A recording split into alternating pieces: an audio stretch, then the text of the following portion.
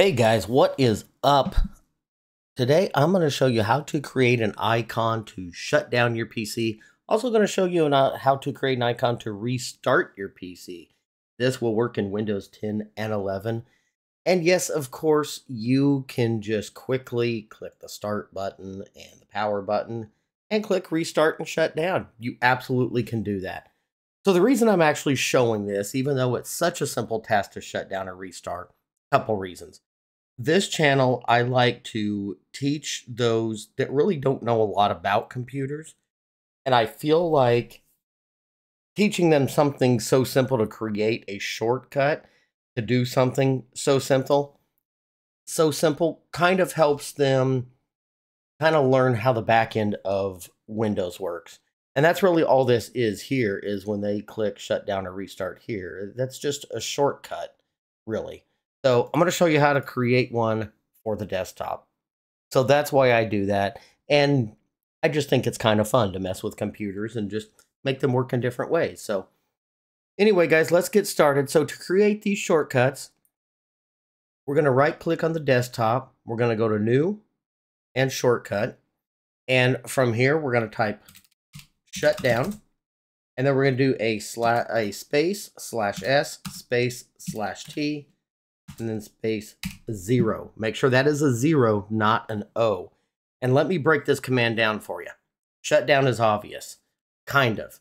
The slash S, what we call a flag, the slash S flag, tells the system this is going to be a shutdown command. The slash T tells this there's a time delay that you want to set, and that zero is for zero seconds on a time delay which means this command here is going to shut down right away with no time delay. Um, I will kind of explain the little thing further because again, you would think that this right here means shutdown, but this is only kind of part of it.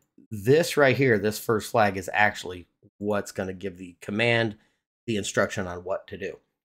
So right here, we were telling it to shut down with zero time delay. Let's hit next on that. And for as far as giving your shortcut a name, you can leave it shut down or you can change it to whatever you want. You can name it to power off or do whatever you want here. Um, so I'm going to leave it shut down and I'm going to click finish.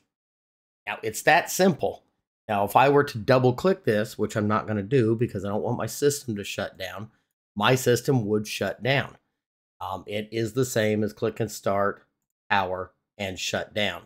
That command that we just created is what is the coding behind this shutdown button. It's, it's the same exact thing. Um, so now let me show you how to do one to restart. And it's pretty much exactly the same. Right click, new shortcut. And then we are going to do the same thing here. Shut down. But this time we're going to do a space slash R and that is a flag for restarting. And then we could do a space slash T for time delay. And then we can do a zero here also, not an O. Now, if you wanted your system to restart in say 60 seconds, uh, from you double clicking your shutdown icon, you could type 60 here or whatever you wanted to, but that all goes in seconds.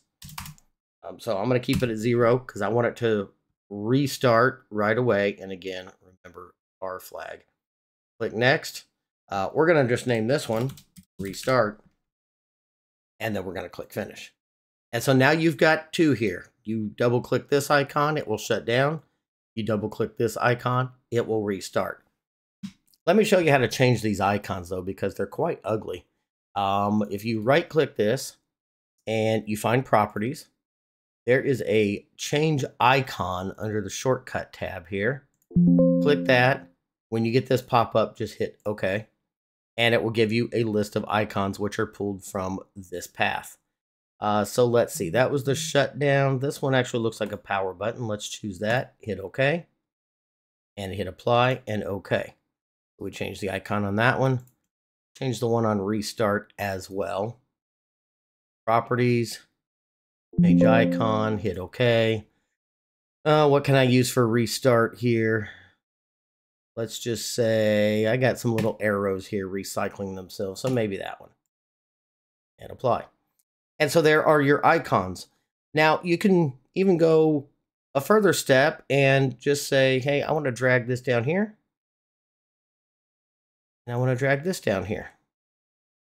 And so now to shut down or restart your computer, you don't need to click here, here, and go to one of these.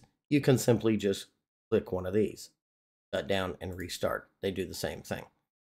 Now, let me show you a bonus tip here.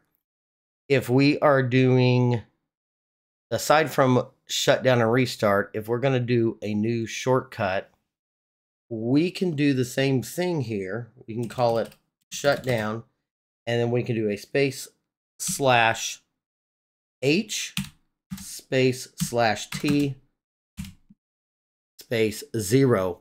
And the H is for hibernate. So if you want a shortcut to put your system into hibernation mode, you can definitely do that.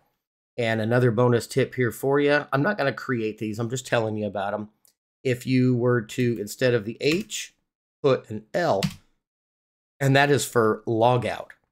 And so you could create a two separate icons to put your system into hibernate or just to log out of the current Windows session completely different than restarting and shutting down.